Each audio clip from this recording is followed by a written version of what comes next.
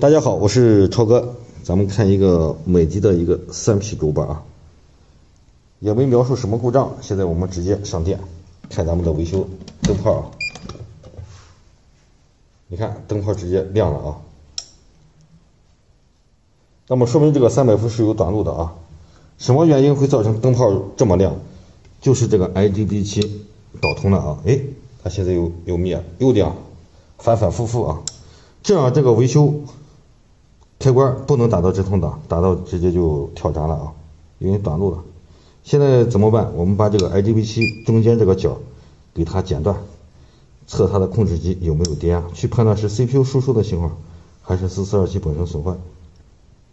这个 IGBT 控制机，我们把它中间这个角剪了，中间这个角已经剪断了。剪断之后，咱们看灯泡已经正常了，直接测 IGBT 的控制机，发现就有十几伏的电压。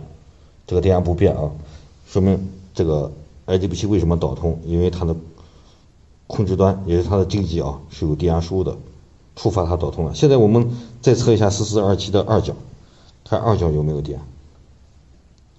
二角的电压也是十十四点四伏啊。把四四二七给它拆掉啊，拆掉，测一下二角四角还有没有电压输入啊？好，把四四二七已经拆掉了啊。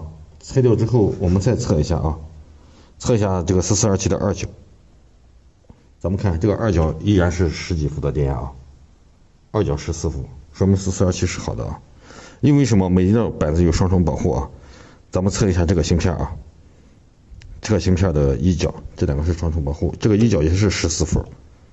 再测一下下面这个芯片的一角，也是十四伏。那么我们再去测一下二角三角啊。一二三是一个通道嘛，咱们测下面这个，这个你看二角也是十三伏，三角呢也是十三伏，十四伏啊，十五伏电压。而我们测一下上面这个啊，上面这个二角是多少？零点七二，零点七一。那么说明下面这个芯片坏了啊。怎么肯定确定啊？咱们去看一下这个啊，这个二角和这个一角和这个芯片的一角是连在一起的，作为双重保护啊，双重保护，这个之前我讲过的。那么我们把这个芯片拆下来，把这个芯片给它拆下来。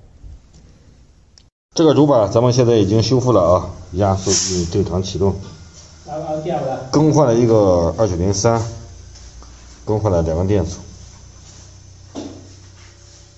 所以说咱们的维修过程中要自己要有一个清晰的思路，知道怎么去查，那么找故障点就非常容易。好了，今天这个视频就拍到这啊，感谢大家观看，再见。